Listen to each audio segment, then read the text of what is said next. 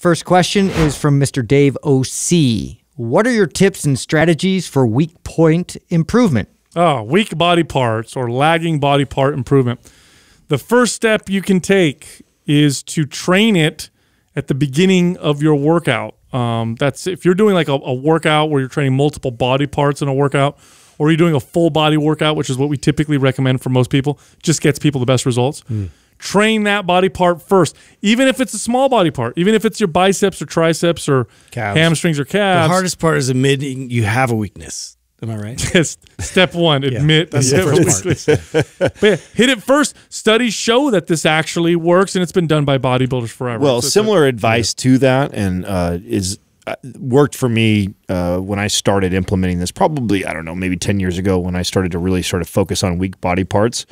Um, I think everybody uh, is consistent for a while, falls off, consistent, falls off. It's I mean common, right? Yeah. Very very common.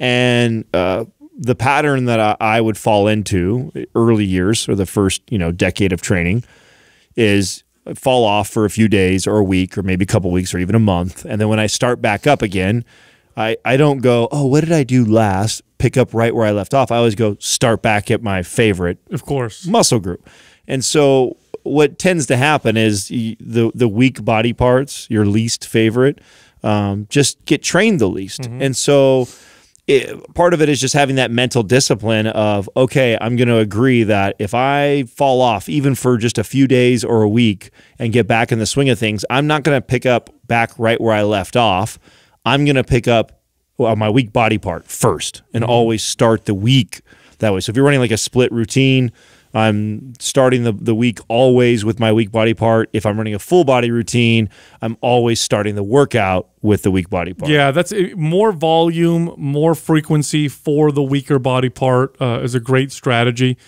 Uh, another one, and this is a this is a uh, this is one that you know I actually I've done it a little bit in the past, but Adam talked about it uh, years ago on the podcast. I thought it was really smart. Unilateral training, or when you're training that body part that's weak, allow the weak body part to dictate the amount of reps you're going to do. So this is for people who have a weak body part that tends to be uh, on one side. So I have one shoulder, one bicep, one tricep doesn't match the other one. Work the weak one first. Allow that one to dictate the intensity uh, for the other body part. And then the, the last one, this one's my favorite, prime your body yeah. before mm -hmm. you mm-hmm. work out. Oftentimes you have a body part that doesn't respond because you're not connecting well – enough to that body part. Like, for example, let's say it's your chest.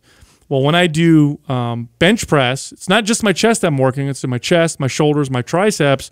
And if my chest is weak, then my shoulders and my triceps will probably do more of the work.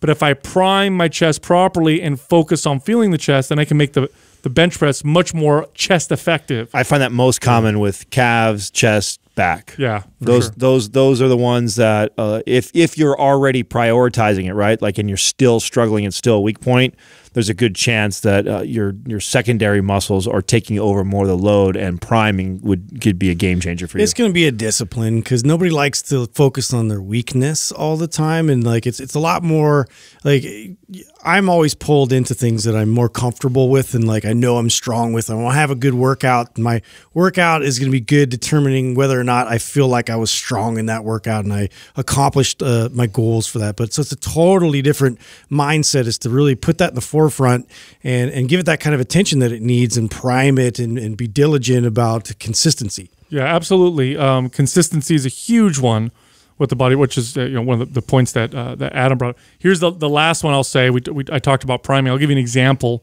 of a way you can prime a weak body part.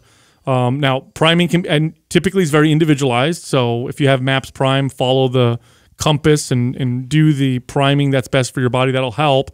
But if you wanted some general advice, try doing an isolation exercise for the weak body part first, then go to the compound lift. That's a form of priming that helps you feel the muscle or at least the target muscle you're trying to work on. And you can also do isometrics and, and take it even a step further, yeah. like and make a, a, full workout around isometrics, which has great benefits to it and also like really puts that kind of attention uh, to the recruitment process that it needs to even wake up.